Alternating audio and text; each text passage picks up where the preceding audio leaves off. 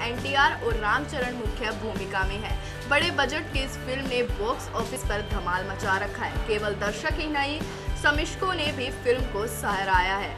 इसका अंदाज़ा इससे भी लगाया जा सकता है कि आरआरआर ने 600 करोड़ का ग्रोस कलेक्शन कर लिया है। बॉलीवुड और साउथ के बहुत से सितारों ने फ़िल्म की तारीफ़ करते हुए प्रतिक्रिया दी है। अब कंगना रनौत ने इंस्टाग्राम पर एक स्टोरी शेयर की और निर्देशक एस एस राजामौली की सादगी की तारीफ़ की है। कंगना ने राजा मौली को भारतीय फ़िल्मों का सबसे महान निर्देशक बताया है। उन्होंने कहा है कि वह एक ऐसे निर्देशक है जिनकी कोई फ़िल्म असफल नहीं हुई।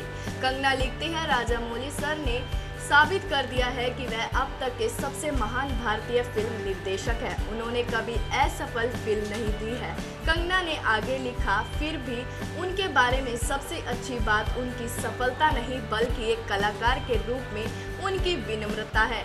एक व्यक्ति के रूप में सादगी, अपने राष्ट्र और अपने धर्म के लिए उनका महान प्रेम है। आप जैसा रोल मॉडल पाकर बहुत अच्छा लगा। मैं आपकी बहुत बड़ी फ़ैन हूँ।